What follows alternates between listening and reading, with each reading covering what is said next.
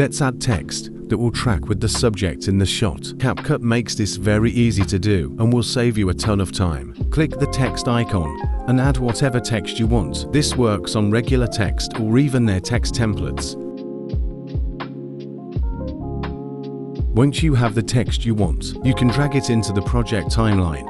If using a template, with the text selected a menu will appear on the right hand side where you can make changes to color, size, what the text says and more. Now I will select the tracking menu in the top right hand side of the dashboard and click motion tracking. You will see a yellow square pop up in the preview screen. You can resize and place this square over the subject that you wish for the text to follow. You can set it to where the text won't scale itself automatically with the movement of the subject or adjust its distance automatically. You should test these settings to see which works best.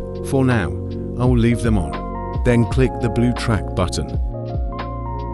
It will take CapCut a moment to process the movement. Now if you press play you will see your text, following the subject around the screen. You can follow the same process for stickers as well. If you are finding this video helpful please take a moment to like and subscribe as it really helps my channel out. And that's how easy it is to create text and stickers to track your subjects within your shot.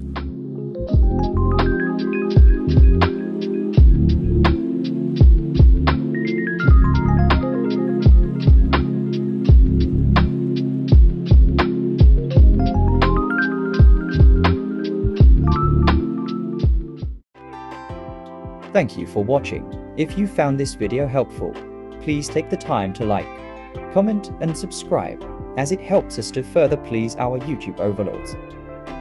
Check out more links in the description for continued assistance on your CapCut projects and please keep your arms and legs inside the craft until it comes to a complete stop. Be sure to mind your headspace and watch your step as you exit.